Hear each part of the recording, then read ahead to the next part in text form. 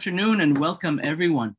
This is the uh, Sally and Ralph Duchin Campus Lecture Series in Judaic Studies made possible by the generosity of the Duchin family. Uh, I'm David Graizbord and I'm privileged to form part of the Arizona Center for Judaic Studies here at the U of A, the University of Arizona. Today I have the pleasure of welcoming Professor Miriam Udel, one of the foremost scholars of Yiddish literature. Uh, Dr. Udel is Associate Professor of German Studies and Jewish Studies at Emory University in Atlanta. Her academic research interests include 20th century Yiddish culture, Jewish children's literature, and American Jewish literature. She's the author of many works, including the book entitled Never Better, The Modern Jewish Picaresque, that particular title won the 2017 National Jewish Book Award in Modern Jewish Thought and Experience. Professor Udel has also edited an award winning anthology of Yiddish stories for children entitled Honey on the Page. She's currently working on a critical study of Yiddish children's literature. More on that uh, particular aspect in a moment. Uh, in a couple of seconds, the professor and I will converse about her, her work. Uh, this will take us something in the order of 45 minutes, give or take. Then I will read and I will allow her to respond to your queries uh, uh, for about 15 minutes. Uh, and you may post those queries in the Q&A section of the Zoom room. The Q&A uh, icon, as distinct from the chat icon, is located on the lower right-hand side of your Zoom frame. Now, if we can't get to your question or your comment for whatever reason, please uh, don't worry because this event is only the first in what you might call a, a sumptuous two course meal. Uh, what I mean is that Professor Udel will be uh, returning uh, via Zoom in the spring in February to deliver a full-fledged formal lecture on her research and findings. Details on that lecture will follow by snail mail and by, uh, by various online media. So be alert to that information. I conclude the introduction by thanking all of you for being here. Uh, of course, I also want to thank the Duchin family for its uh, sponsorship of this and many other of our talks. Uh, thanks finally to Martha Castleberry and especially to Jackie Schmidt. Uh, both of them have worked uh, very hard on this and other events for Judaic Studies. And without them, really without you, uh, the registrants, our viewers, uh, Judaic studies at the U of A would be merely a nice idea instead of a vibrant reality. So uh, Professor Udel, let me uh, give you the chance to say hello to everyone and then I'll pose my first question. Yes, thank you so much for inviting me to your campus, even virtually. It is a pleasure to be with you, David, and express my gratitude also to your administrative team uh, that was working behind the scenes and to everyone who's come out this afternoon to, to join us.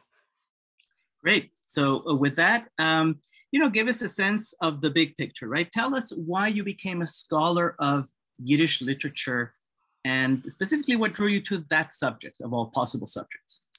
Sure. So I really became a Yiddishist by accident. And what I mean by that is that I was um, I was studying, I was interested in studying comparative literature, and I thought that I would focus on the continental novel.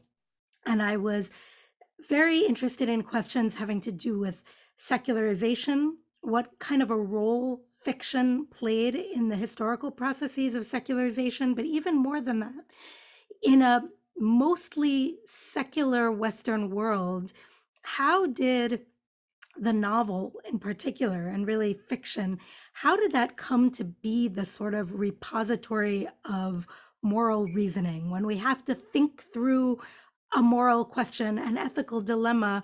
we tend to think about stories. If you think about the average American high school, um, there probably isn't a religions course. There might be a comparative religions course that's hit or miss. There may not be a philosophy course, but there's going to be an English class. And in the English class, there will be some discussion of moral dilemmas. So I was really interested in those kinds of questions. And I went to have a conversation with Ruth Wisse, who was the professor of, of Yiddish at Harvard, and I had had very slight contact with her as an undergraduate, but never studied with her. And she said, You know, you're asking great questions, and Yiddish could give you a great way of exploring these questions because the process of secularization took place so rapidly in Eastern in the Eastern European Jewish sphere. If you just gained access to Yiddish, you could really undertake some meaningful investigations. So I did study Yiddish and I took to it very readily. Mm-hmm. And all through my graduate career, I maintained a kind of like dual identity where I was going back and forth between modern Jewish literature and the English and American novel tradition. And then when I had about a year left in writing my dissertation, Emory advertised this position in Yiddish, and I'm I'm embarrassed to even tell the story today because the the academic job market has become so competitive and so straitened that it is uh, vanishingly rare for anyone to get a, a position uh, when they still don't have their dissertation done. But that was my my good fortune in 2007, and it was defined as a position in Yiddish language, literature, and culture. And I said, I can do that. I can come and teach that. Um, and so then I was a Yiddishist, and I sort of had to. Um, I wouldn't say stop my oscillation between these two topics because I think that my work on Yiddish is always very informed by a pretty deep immersion in the Anglo American tradition as well. But I did really conclusively decide okay, I'm going to work now primarily on on Yiddish. Mm-hmm. Okay, well, very interesting. Um, speaking of moral dilemmas in literature, uh, before the Shoah, the Yiddish novel and Yiddish culture as a whole really was in the mainstream, you could say, of, uh, of Jewish uh, culture and society. It was very, very, uh, the culture was very broad, very vibrant. It's now mostly, I think it's fair to say it's mostly limited to academics and to uh, the lives of um, small groups of ultra Orthodox Jews, um, Ashkenazim, uh, in light of the fact that Yiddish is really no longer a lingua franca among a vast majority of Jews, why do you think it's important, Davka, to learn Yiddish culture? Sure. So, um, my colleague Jeffrey Shandler at Rutgers has this wonderful term, the post vernacular, the post vernacular life of Yiddish, that it used to be a vernacular language for Jewry from Eastern Europe, eh, which has to be one of the most um, mobile populations in the 20th century that you know that we can imagine and they took yiddish with them wherever they went whether it was to north america south america south africa australia israel um, you know the caribbean and pretty much anywhere that you can think of mm-hmm. um, and it's such an important recent part of our past that we neglect it at our peril because the questions that were being worked through in Yiddish, questions about how to live in the modern world, how to transmit some kind of Jewish identity that would be authentically rooted in the past, but that would also come to some kind of meaningful accommodation with the circumstances of modernity. How to figure that out for oneself and then how to transmit it to an, another generation and another generation beyond that. Those questions were being asked in a really vibrant way in yiddish 100 years ago. And so through the kind of contingent fact of 20th century history, through the vagaries of history. Um, so much Yiddish has been lost, as you say, David, and it it would be a travesty of neglect if we didn't at least try to access some of the conversations that were taking place, some of the um, the strategies that were being considered through translation Mhm. for you know the broadest possible audience and for those who are so inclined through the study of yiddish which has also been subject to a lot of mystification um, one of the cultural critics whose work i really love rachel kafrissen um, writes about how yiddish has been mystified as if it's so such an extraordinary language that its jokes are funnier and its curses are more uh, more barbed or more pointed and it's so hard to learn and none of this is actually true. It does have these wonderful you know geschmack delicious uh, forms of expression that become accessible in the original but it's a language that you can study as you would italian or russian or german and so it doesn't need to be this kind of lost and mystified heritage. It's something that our students can study in college, that young adults, older adults, retirees can study and are studying now more than ever because so many of the wonderful language learning resources have moved online into the digital sphere. Um, so, you know, it's it's really important to be able to access and it's also really accessible. Okay. Hmm. Now you've already underscored the the words uh, modern and secular a couple of times, and I'm wondering how you define those terms, and especially how you see those terms uh, expressed or embodied in the in the people that you study, authors, audiences, and so forth. Sure. So I think that the Jews are living in the world with everyone else, and we are subject to a lot of the same phenomena, a lot of the same social transformations, thought transformations.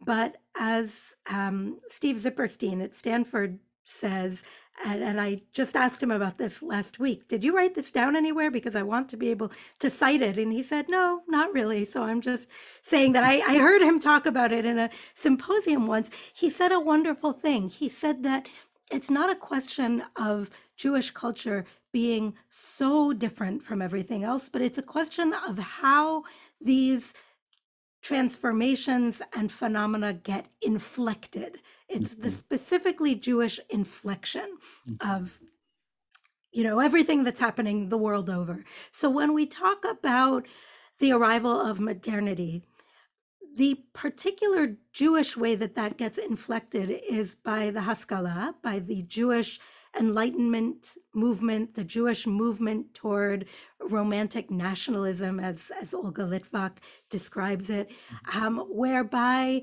the the kind of drivers of high culture wanted to push the people, push the Jewish people toward a more rationalistic worldview.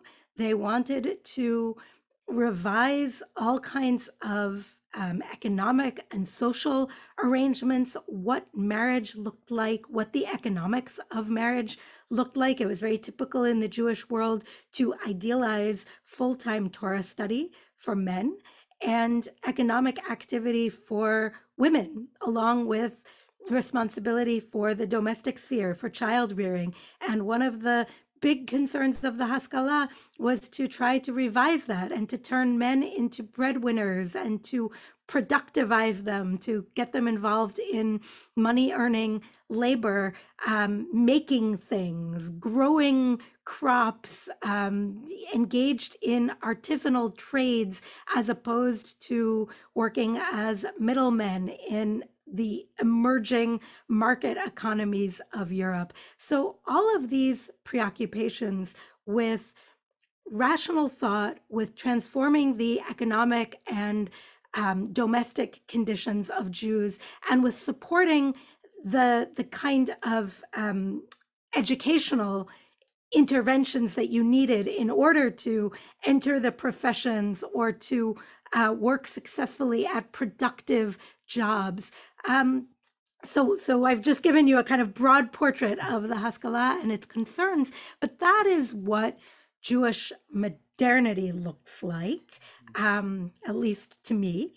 And when you say um, secular, I think that it's really important to underscore the unfinished, asymptotic quality of the secular. You can always be secularizing, you can be going toward this kind of um, this secular end point, but it turns out to be a vanishing point.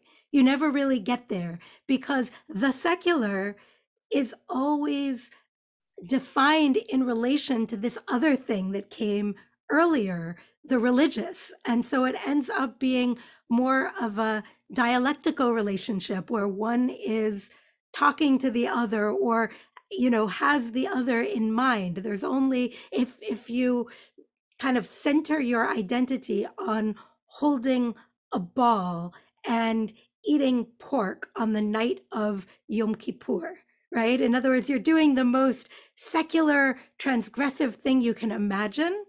The thing that makes that transgressive and that gives it that sort of like thrill or frisson or look, I'm doing something meaningful is that you are contravening a set of rules, right? So you are acknowledging it and I almost want to say honoring it, not really honoring it, but acknowledging it in the breach. So mm. it's it's a religious heritage that even the most determined actors in the modern Jewish world and in the secular, you know, part of that world that they could never fully get away from or shake.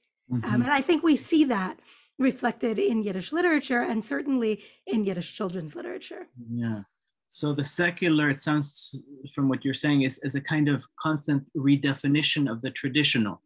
In that sense, is it possible to say that traditionalist responses to whatever the modern world means are themselves secular, even if they, you know, they they wave the flag of Torah and commandments and so forth? Well, I think that they're certainly just as modern mm-hmm. as you know a, a secular impulse. Yeah. Um, that mm-hmm. absolutely, you know, to um, to sort of um, construct things or or to um, accede to the idea that mm-hmm. your religion has an opinion about the use of a smartphone. Mm-hmm. Um, you know, that's right. that's an engagement with modernity that's every bit as modern as um, you know somebody who's attending the the Yom Kippur ball. Right, right, right. Okay. Um, so maybe this question will will help us to sort to make some further inroads into the matter of secular modernity uh, obviously, your well, it's not obvious, but I mentioned that your earlier uh, work, uh, much of your current work, focuses on Yiddish literature for children. Uh, why did you choose that particular focus? What what do you hope that that focus will allow us to see or to understand about the culture that produced uh, the literature? Sure. So it started out in a very utilitarian way. When I came to Emory in 2007, I was teaching a full year, a year long cycle of Yiddish language courses. And I was always on the lookout for authentic materials for my students that they could read in the second semester when they had just learned the past tense and they didn't have that much grammar under their belt. So materials that would be relatively simple, not not Sholem Aleichem and not uh, Yud Lamed Peretz, or, or certainly not Mendele, the, the book peddler, with his very highfalutin, very Hebraic diction. Um, and so, coming from the vantage point of a language instructor on one hand, who was also a mother on the other hand, with two very young children at home at that point. Um, the the kind of convergence of those two identities was for me to wonder well, was there ever any literature written for children in Yiddish? And I realized after the fact, when I, you know, simple internet search showed me that there were hundreds of pieces. They were out there, they were even preserved digitally, and the scans are on the website of the Yiddish Book Center for anybody to come Mm. along and and look at. Um, and other places as well. Florida Atlantic University has a wonderful collection. They their scans are in color, so if you're in it for the art or just for the kind of the visual appearance of the page, you can do a little bit of googling of the Florida Atlantic collection of Yiddish children's literature. There are a few other collections that are also digitally available, but um, I very quickly realized that it was there and that it was a sort of peculiar thing that in my own Yiddish education, unlike the education I had received in Spanish, in Hebrew, we had never read any children's literature. It Mm. had just kind of fallen out of many people's awareness, certainly not everyone's, because as I've gotten into this project, I've realized that many people who attended the Yiddish secular schools did grow up on a steady diet of Yiddish children's literature. Um, there are people for whom it has never fallen away, but that those are small numbers. Um, so that was the kind of utilitarian answer. And I started thinking about it, wanting to study it critically, and also realizing that we needed to have a set of primary texts out in the world that would be accessible to readers of English. And so that was the impetus to translate, translate, translate what became Honey on the Page, the anthology that was released last fall. Mhm. And the sister project that I have always been working on, um, and now I'm kind of racing to to actually get done, is the critical study. Mhm. And so I've had a lot of time and opportunity to reflect in a in a less utilitarian, more kind of idealistic way about why this is such an important corpus for us. Mm. And I think there are a few different answers that I could give, and I'm probably going to give some of them when I come back to campus in the spring. But Mm. one that I will highlight for now, since you did mention the Shoah, the Horben, the, the Holocaust, and its destruction, is that most Yiddish children's literature dates from the 1920s and 1930s when the nobody could have imagined the Holocaust. Nobody could have imagined that that would be the last generation of Yiddish speaking children to have a somewhat intact, and everything is relative, but even a somewhat intact childhood. And so studying this material re- really offers us a very detailed portrait of Jewish joy um, from this period when um, it was the most natural thing in the world to to be hopeful and to want to hand children a very idealistic vision of what the future could look like and that was really the task Mhm. of yiddish children's literature to try to portray according to whatever the writers' ideals were, and some of them were socialists, and some of them were Zionists, and some of them were were communists, and some of them were just plain Yiddishists. But whatever their ideological commitments, they wanted to portray what a better world could look like and how children could help to be part of forming that world. Mhm. You know, you mentioned your your the, the- the study that you're working on now, but uh, what you what you've just uh, mentioned makes me sort of uh, hungry for for an example. I'm wondering. I mean, not to take the thunder away from the the talk that you'll give in February, but is there? uh, Do you have a little excerpt that you can give us that can, uh, let's say, illustrate that that uh, imaginary uh, uh, ideal of joy that you're talking about, or or another or another message? Sure, no. So I would love to I would love to take us through a story and kind Sure. of I'll do a little bit of reading and a little bit of, of storytelling. Um, I'm going to be speaking about a subgenre when I come back um, of Sabbath tales that have to do with figures who observe the Sabbath in very compromised circumstances. So, um, two of the tales that I'll be talking about when I come back are in the anthology, but there's another tale that has to do with the Sabbath, and it's of a completely different nature. Um, and it's a great illustration of Jewish joy despite a lot of challenge, despite a lot of grief and sorrow, actually. And it's a pandemic story. And unlike most Yiddish literature, I think we can safely say, it is set in Morocco. So that's a, a kind of fun aspect of this story. So it's it's by a, a gem of a writer who I would love to see become a household name among the more Jewishly discerning households. Um, Tzina Rabinovich, Tzina Rabinowitz, um, she wrote a wonderful collection of holiday tales in the 1950s when the mandate of Yiddish children's literature really shifted from visualizing an ideal future world to trying to um, preserve and consolidate Jewish knowledge, m- making sure that the generation that had survived the Holocaust and the generation of kids who were growing up in the Americas, Yiddish speaking children um, in the Americas. And she published both in New York and also a lot in Latin America, um, that they would be familiar with the, the tropes, um, the customs involved in every holiday.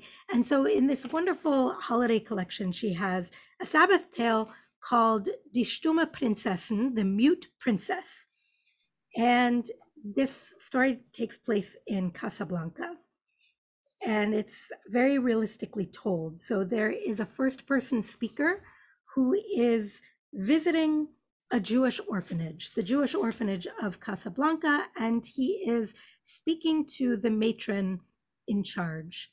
And um, she points out one child who's just playing on the playground at the orphanage.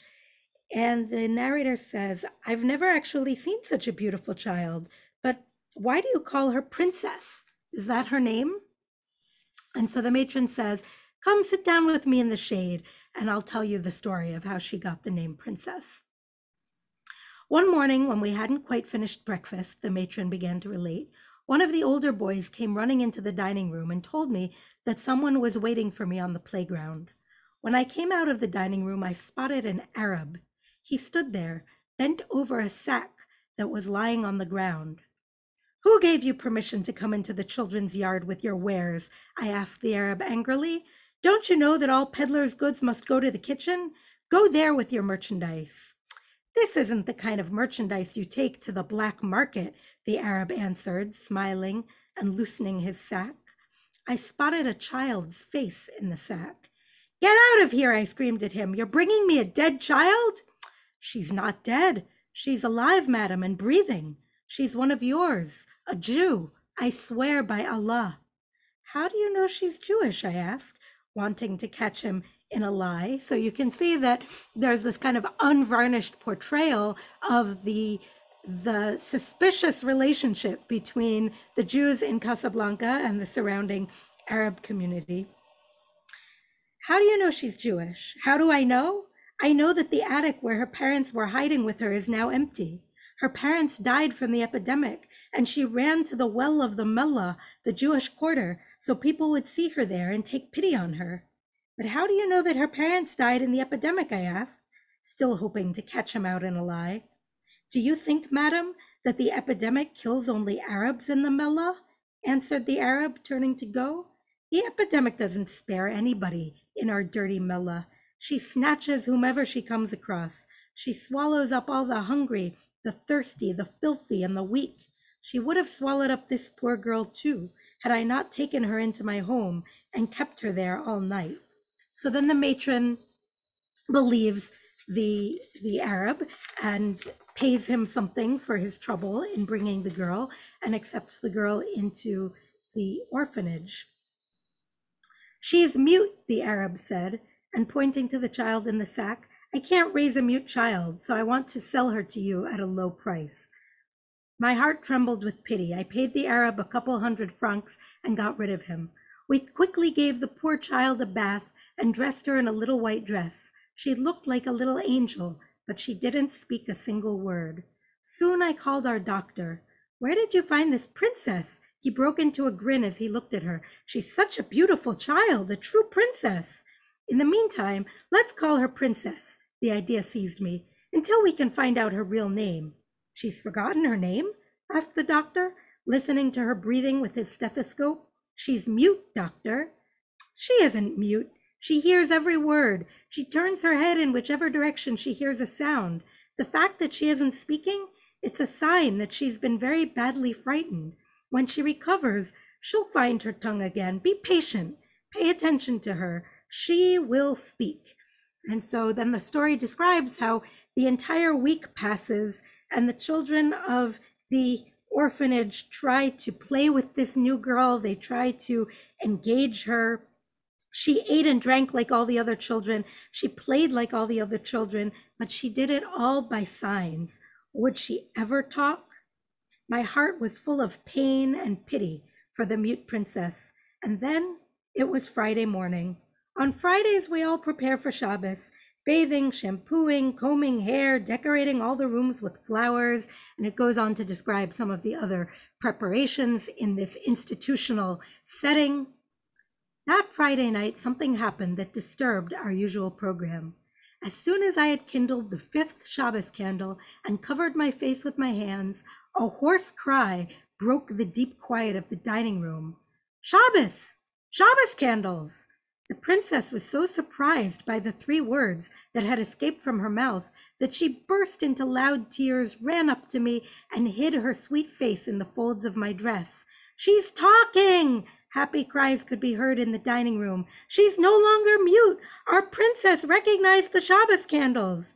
There was such joy in our dining room that we forgot to make Kiddush, to sing our Shabbos songs. We all held hands and started a happy dance around our princess and she kept marveling to herself and repeating, I can talk now. I'm not mute anymore. I can talk again. Good Shabbos, good Shabbos. And that's how the story ends. So the girl has really undergone a severe trauma, losing both of her parents.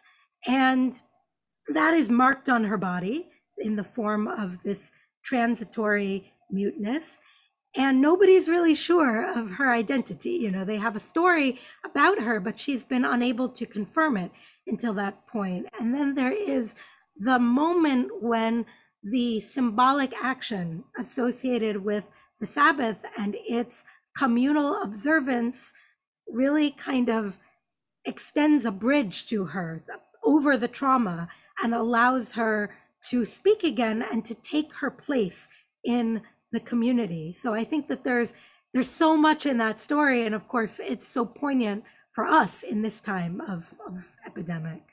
Yeah, my goodness. Uh, you know, I have uh, something uh, like a sketch of questions uh, that I that I thought about before uh, this talk, and now I I find this story so stimulating that my brain is a little uh, short circuited. I have so many things to say about the story to to ask you about the story. Um, let me start with this. You mentioned uh, in a in an email conversation that uh, you view uh, the development of Yiddish literature for children as somehow related to the rise of child psychology. Uh, it, do you think that this story bears the mark of, of that of that particular influence? Um, you're right that it's. I mean, it's it's it's multivalent, right? I mean, I'm, I'm I'm listening to you and I'm thinking, well, this sounds like the Zohar right? Talk, talking about the, the, the bedraggled maiden who gets pulled from the dust and so forth. Yeah. Uh, and and also, you know, sounds like like social criticism uh, by a Yiddishist, by a socialist, by a nationalist about the state of the nation, you know, and so forth. But uh, anyway, uh, let's start with with the with the child psychology. Uh, do you see there some sort of uh, again the, the mark of a, of a new way of thinking about childhood, about trauma, etc.?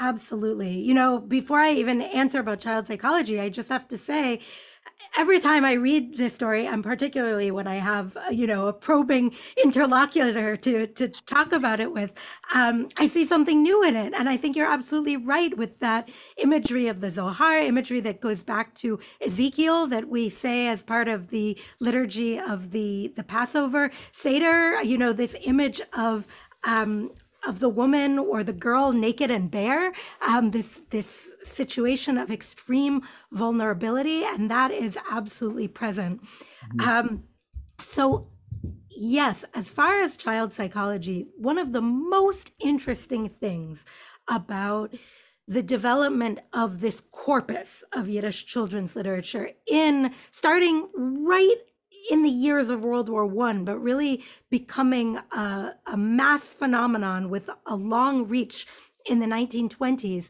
is that it is developing precisely at the time when the principles of child psychology are being articulated and being diffused both through the Western world and the Soviet Union, which are both very concerned about what they called child guidance. And what it means for a nation to have uh, or to what it means for a nation to promulgate a good childhood for its citizens and what are the deleterious consequences if that doesn't happen mm-hmm. so yiddish literature is unfolding you know sort of in tandem with this discipline of child psychology. And so there's an awareness of it. And when we get to the Holocaust, there is um, there's a an article in one of the pedagogical journals that talks about how children in the American Yiddish schools were kept fully apprised of everything that their grown-ups knew, everything that the adults knew about what was happening in Europe um, to European Jewry, that they were not protected in the way that children in more traditionally religious Hebrew schools and Sunday schools were kept at a little bit of an arm's length mm-hmm. from the destruction of European Jewry. And in this article, the, the author says, we may have sinned thereby against child psychology in letting our kids eh, have this level of awareness and knowledge, but we had to do it. We saw no choice. And that's so um, astonishing and poignant to me that there is this awareness of the dictates of child psychology for a kind of ideal circumstance and the acknowledgement that things are so dire that we can't live up to those ideals. We have to let the children in our midst know um, what is going on. And so, yes, I think that this story is being published in the 50s is the period when the community has been able to absorb some of the blow, some of the initial shock of finding out about the events of the Holocaust. Um, and it is very much a kind of um, microcosmic instance of um, uh, or a microcosmic portrait of resilience and how you mm-hmm. build resilience. Mm-hmm. and how the community has a role to play in building the resilience of right right. No that this story you read is, is, is has a certain fable like quality that is i think very uh, you know very comforting in a way. Uh, so it, earlier you mentioned and i mean in the context of this last uh, response you mentioned for example the, the the the presence of the nation or a, a nation somewhere in the mental universe of these stories uh, you also mentioned socialism and uh, you know uh, the, the the genre of workers literature. Um, so uh, maybe to put both in one question is is too uh, unfair, but you know, tell us how these ideologies, these relatively well-developed ideologies of the 19th, 20th centuries, play a role in the formulation of of the literature.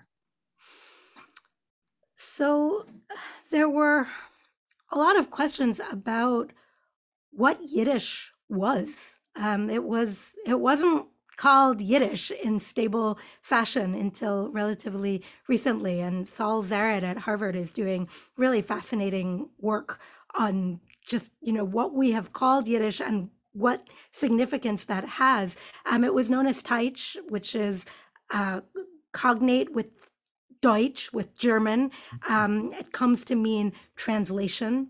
It was also referred to in the popular literature as jargon, jargon. And the founder of the YIVO Institute, the Institute for Yiddish Research, Max Weinreich, talked about how a language is a dialect with an army and a navy.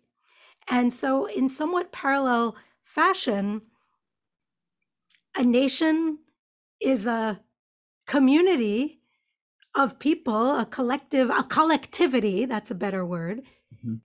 Does it have to have an army and a navy? Right? This was one of the great questions that the Jewish presence in modern Europe really posed. Could you mm-hmm. be a nation without an army and a navy? Mm-hmm. Right? And so there's a Zionist answer to that, which with which we're all familiar. There's also a Bundist answer to that, which is you can absolutely be a nation even without an army and a navy. You mm-hmm. and you have one eye turned toward the brotherhood of all humanity, a brotherhood of all mankind in the parlance of the time, and one eye turned inward toward the particulars of the Jewish collectivity. And there's also a communist answer that says nation schmation. There shouldn't be nations. There should just be an international uh, solidarity of the working class, right? And all of those were present in Yiddish culture and really prominent in Yiddish culture and in Yiddish children's culture and publishing. Um, mm-hmm. Um, so that is mm-hmm. a lot of what I'm looking into. Yeah, yeah. You know, I'm struck uh, by the modern quality of the of many of the illustrations I, I, see in in some of the work that you've anthologized or that accompanies the work that you've anthologized. It's really it's quite abstract. It, it doesn't suggest the kind of you know uh, Hasbro and Fisher Price notion of of, of childhood uh, that we're so familiar with here. Um, uh, so to retract the lens a bit, to go back to the larger question of Yiddish. Uh, I've noticed that among Ashkenazic Jews, Yiddish is a focus of nostalgia, uh, sometimes nostalgia for kind of imaginary shtetl or the old neighborhood. And, and in other words, uh, Yiddish stands for a bittersweet memories. What you study, though, what we've just talked about, though, doesn't seem to me to align with a particularly sentimental, nostalgia-driven uh, image of Ashkenazic culture. So, do you think it's it's advisable in some way that American Jews who hold that sentimental image reframe their relationship to, to Yiddish culture? If so, how can they do that? Uh, for example, as your uh, teacher has recently suggested, ought they read, uh, uh you know, uh, the original stories of Tevye the Milkman by Sholem Aleichem rather than rely upon the Broadway musical uh, Fiddler on the Roof? So, my basic approach to that is yes and, meaning enjoy Fiddler on the Roof. Who among us does not love a good fiddler sing along, right? You launch into one of those songs and I will complete it with you happily. But if you only access Fiddler on the Roof, then you're not going to know chapter one, which is about how Tevye comes to be a dairyman. And you're not going to know that it is a very sharp critique. I mean, with fangs of prevailing uh, conditions of economic inequality in Jewish Eastern Europe and mm-hmm. Eastern Europe, you know, altogether. If we can bring ourselves again through studying Yiddish or through accessing works in translation, of which there are more and more and more and more, because there are wonderful initiatives afoot through the Yiddish Book Center, through other organizations to promote really fresh uh, translation activity from Yiddish into English. Mm-hmm. If we can access these works, then we can get ourselves to a time when Yiddish does not have to be in the past and in the rearview mirror, but we can gain a perspective where Yiddish is current and Yiddish is the future. And that's what's so exciting, I think, about studying the children's literature, because these authors were entirely relating to Yiddish not as a relic of the past, but as a gateway into a very exciting future. Mm-hmm, mm-hmm. Yeah, and as a means of expressing everything, not just some uh, some insult or some some cute uh, uh, description, sort of colloquial description.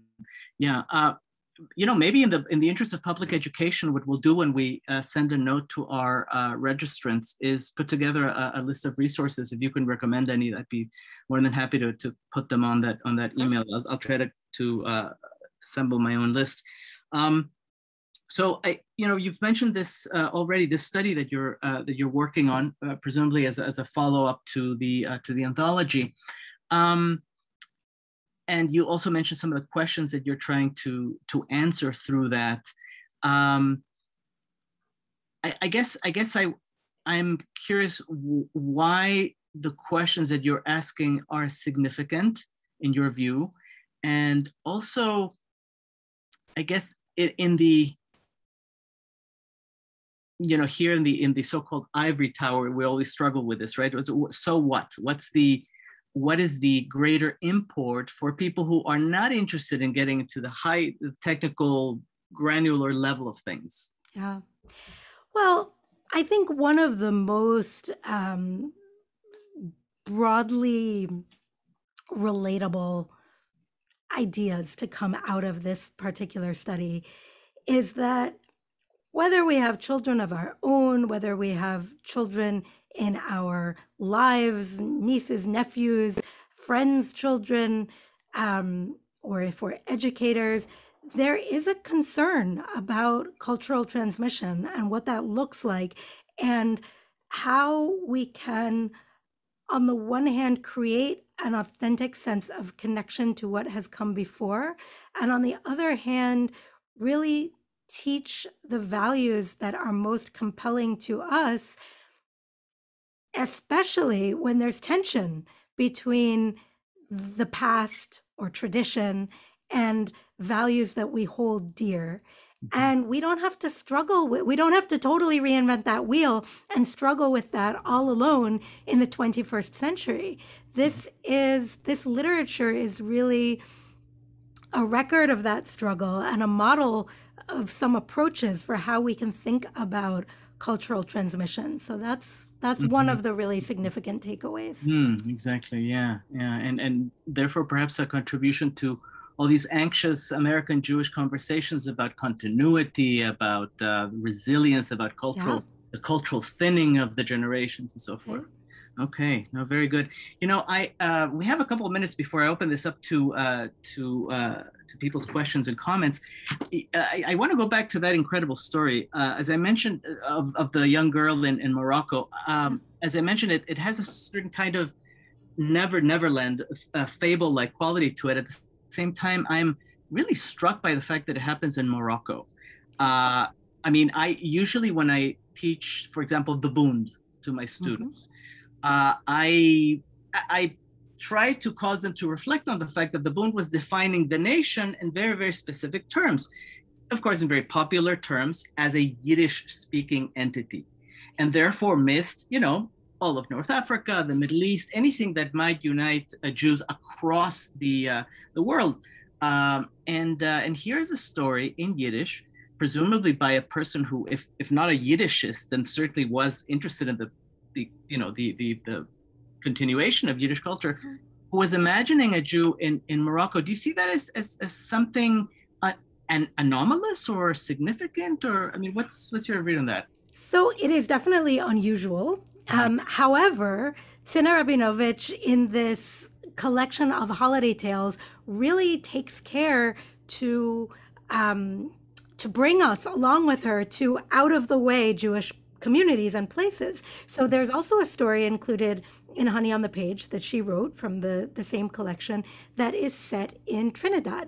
Mm-hmm. Um, and it's mm. a Yom Kippur story about a, a descendant of the Sephardic community that settled in the time of Christopher Columbus in mm-hmm. Trinidad, who has assimilated and joined the Catholic Church, who is actually the scion of a Catholic family, who when um, a, a, small group of refugees uh, from Europe at, in the time of World War II come to the island and establish a very small congregation, he reconnects with his family's own Jewish past uh, mm-hmm. by just the proximity to them. Um, so she's really interested in taking us around the Jewish world. And there are communities that were quite large and vibrant that are not always on the radar of American Jewry. We tend to think about, you know, Ellis Island, uh, Castle Garden, the Lower East Side, and we're not necessarily thinking about the agricultural settlements in um, in Argentina in um, you know the on the pampas so we have stories set in places like that in yiddish um, yeah. that are really kind of demonstrating for us the the global nature of the jewish of mm-hmm. even the yiddish 20th yeah. century yeah and uh, would you say that therefore this is a kind of meditation conscious semi-conscious i don't know about the the new Yiddish diaspora. If we're talking about a book from the 1950s or, or a series of stories from the 1950s, yeah? Yeah, I, I think that's a great way of, of framing it, um, just in terms of, um, right, what it what it means to think in terms of a diaspora. Absolutely. Yeah, yeah, yeah. Very good, very good. I, I see some uh, that we have about two minutes. I see I see a couple of uh, of hands have been raised, so to speak. Uh, um, electronically. So I think I'm gonna I'm gonna move to that uh, to that uh, segment of the of the talk. But uh, what can I say? A dank really for for your for your responses. I'm I'm I'm beyond stimulated. I'm as I said, my, my brain is a little bit uh, short circuiting with so many connections I'm trying to make. Yeah. Um, uh, okay, so let let's see. This is a um, uh, uh a registrant who says, uh, I am somewhat surprised that Yiddish children's literature did not factor into Dr. Udel's Yiddish oriented education. There have certainly been scholars such as the late Naomi Prawer Kadar, uh, mm-hmm. who focused on Yiddish children's literature and periodicals. The book is on my dining room table. I was citing from it today. I mean, I feel such a I, I was so honored last year actually to deliver the Kadar Memorial Lecture at Columbia. I feel such a sense of kinship with this woman who I never had the the merit and the good fortune to meet, but who is now kind of my my intellectual sister in really deeply exploring Yiddish children's literature. She wrote about the American periodicals based in New York and it was a spectacular dissertation from, I believe, 2010 that was published as a beautiful book in 2017. Um, it was just my own you know fortune that i was starting to study yiddish in the summer of 2001 and i don't think that that research was really uh, widely known yet at that time mm-hmm. yeah. okay. thank you uh, another observation regarding the story that you read uh, the quote, the child had to be sold. This is another registrant, by the way. Uh, the child had to be sold in the plot. Wouldn't the setting the scene in an Islamic country make more sense? Would, sorry, it, yeah, in, in other words, if the child has to be sold according to the plot, then doesn't it make sense to set it in to set the story in in Morocco in an Islamic country because of the, the sale of the child? In other words, it's it's it's it's saying that this is a this is a, a that this particular aspect of the story is a nod in the direction of uh, verisimilitude. Well, I think part of what the story is um, representing, very honestly, is that level of mutual suspicion that existed, right, in Casablanca uh, between a presumably very small Jewish community that was trying to um, maintain institutions like a children's home or an orphanage and a much larger surrounding Arab population. And so the matron of the orphanage says that she wanted to catch him out in a lie. She would have actually been she would have derived some satisfaction if this man who came with a, ch- a sack with a child in it had somehow been lying or not on the up and up, but he was. Mhm. Um, yeah you know there's a well uh, of course you know there's a there's a whole series of stories that uh, posit uh secret jews you know uh, the the the the the outwardly professing the, the obviously jewish character meets a certain stranger scratches the surface of that stranger and out comes a, a yiddish neshome you know fully fledged Fully Jew. Billy Fletcher. So there's a little bit of that there. I, I detect some of it, and also in the story that you just told us about uh, Latin America or the Caribbean, if I Yeah. remember correctly. Mhm. Um, okay, so one one thing that I, I left out of my uh, my notes had to do with uh, the USSR. Uh, we spoke already about the the political quality of of much of this uh, Yiddish uh, literature for children. Um, what did the Soviet uh, regime do to this literature? And um, you know, uh, was this done primarily by the uh, integrants of the Yevsektia or by some other parties? Can you say anything about that? So, first, they nurtured and supported Yiddish children's literature as it had never been nurtured and supported before. Mm, And then they murdered its creators. Um, it, there, in the 20s, there was one set of policies, even under Stalin after 1924. Um, the USSR was incredibly hospitable to, um, to Yiddish publishing in general, as long as it could present itself as proletarian. And so much of it did. I mean, Yiddish authors really got that memo and were able to abide by it in many cases. Um, you know, in, in good conscience, they, they wanted to write proletarian stories. A wonderful exemplar, the most prolific Yiddish um, Soviet Yiddish author for children is Leib Kvitko, um, who wrote story after story, narrative poem after narrative poem. He had print runs around 3,000, 3,500 in Yiddish, got bigger and bigger, topped out at 10,000 in Yiddish. Then his good friend Kornei Chukovsky sponsored him, championed his work, and arranged for it to be translated into Russian, where he started to have print runs of 10 million. wow. That is not a typo. That is 10 million copies. And then he was killed as part of the Night of the Murdered Poets, August 12, 1952. Mm, Um, I mean, it's just, uh, I don't, I can't go into that full history. That would be another whole talk and a really worthwhile one. But, um, you know, love, love, love, love, love, and then murder. yeah, my goodness. So it was Soviet sponsored literature uh, explicitly anti traditional, anti religious?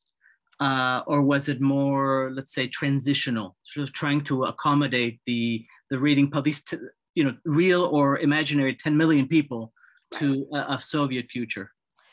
So the theory was probably actively anti religious. The Mhm. practice, in the sense of what was actually represented on the page, was more a religious. We just didn't see representations of religion. You know, it, it wasn't that it was demonized, it just wasn't, it was pretty much ignored.